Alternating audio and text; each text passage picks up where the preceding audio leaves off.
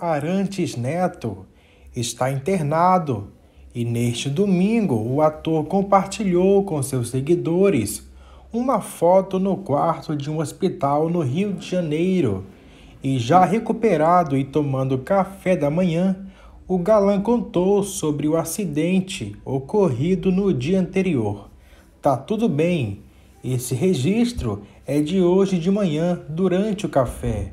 Ontem fiz uma cirurgia para reconstruir o ligamento do polegar que havia rompido durante um treinamento de jiu-jitsu, explicou o ator. Entre outros famosos, Carla Dias e Kéfera, que trabalharam com galã em Espelho da Vida, comentaram no post, desejando melhoras para o bonitão. Não foi nada grave, agora está totalmente bem e sorrindo bastante.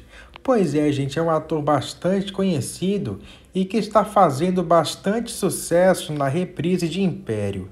E se você gosta dele e acompanha sua carreira há muito tempo, deixa aí nos comentários uma nota de 0 a 10. Vamos agora para a última e muito triste notícia. O ator Jean-François Steven morreu aos 77 anos, segundo a família. A causa da morte não foi divulgada, mas veículos internacionais informaram que ele estava no hospital.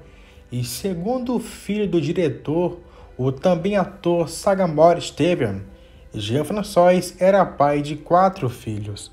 Steven começou a carreira trabalhando para cineastas como Jack Richter e François Truffaut, antes de virar um popular ator coadjuvante do cinema francês e também diretor. Jean-François dirigiu três filmes considerados cult, Passe Montage, Doubles Mitchell e Mística, mas foi sobretudo um ator prolífico e sua carreira inclui participações em Na Idade da Inocência, de François Truffaut, um Quarto na Cidade, de Jack Dahmer, e O Pacto dos Lobos, de Christopher Gans. Pois é, gente, perdemos né, um grande ator muito importante e que com certeza vai fazer muita falta. Então desejamos que Deus conforte o coração dos familiares e que ele possa descansar em paz.